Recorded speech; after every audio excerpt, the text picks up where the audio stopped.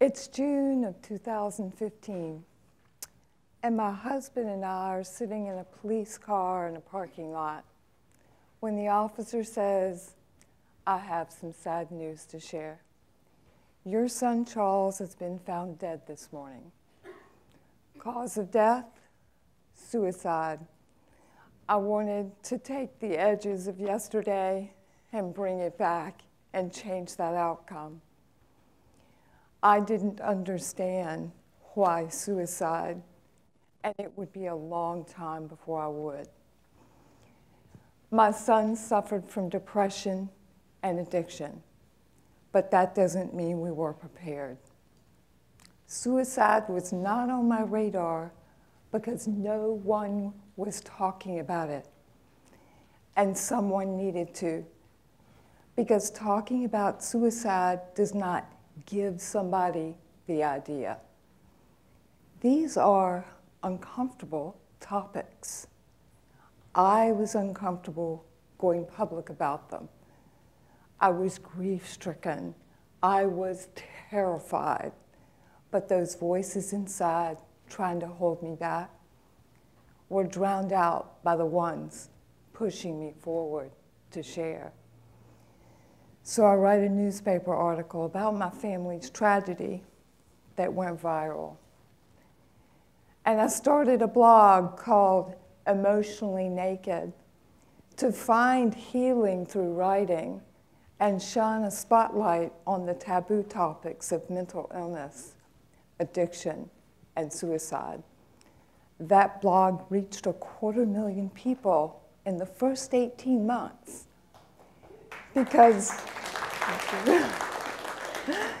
because other people were reading their story and mine. And it was not long after that blog was launched that I wrote a particularly raw article about getting the news of my son's death and how we reacted to it. And I got a message from a girl named Lauren that said, Two days ago, I thought about taking my life. Reading a post from a mother who's felt such devastating pain has changed my perspective on life. And she reached out to her own parents and asked for help. And that was a turning point for me because that's when I realized a blog really can save lives. And I started to think from my perspective as a digital marketing expert. People Google how to install a faucet. I bet they Google how to die too. Submerging my passion to prevent suicide with my marketing expertise, I then wrote my first how to article with a title so powerful and so triggering, I can't repeat it here.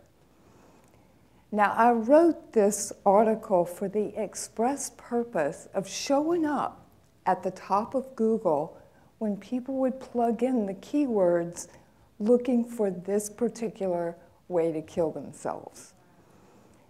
So, I wanted to compete with all those other websites that were offering step by step instructions on this way to die. So the technical term of what I was doing was called search engine optimization and content marketing. Now, my article didn't offer instructions, but instead offered hope and resources.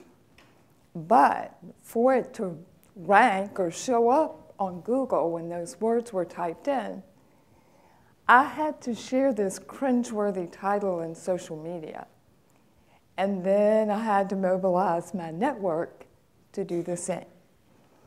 So if you go to Google today and you were to type in this how to phrase related to this way of killing yourself, this article would show up number six or seventh in the world. Tens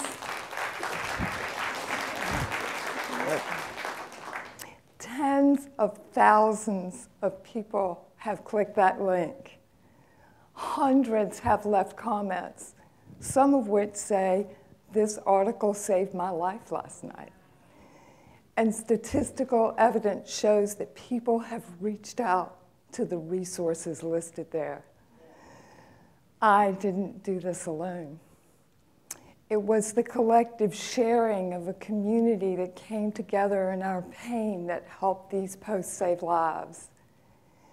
And while I started my blog for the purpose of self healing and educating, an unexpected thing happened when I decided to be emotionally naked in public.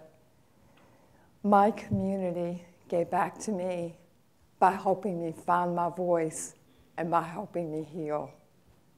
Thank you.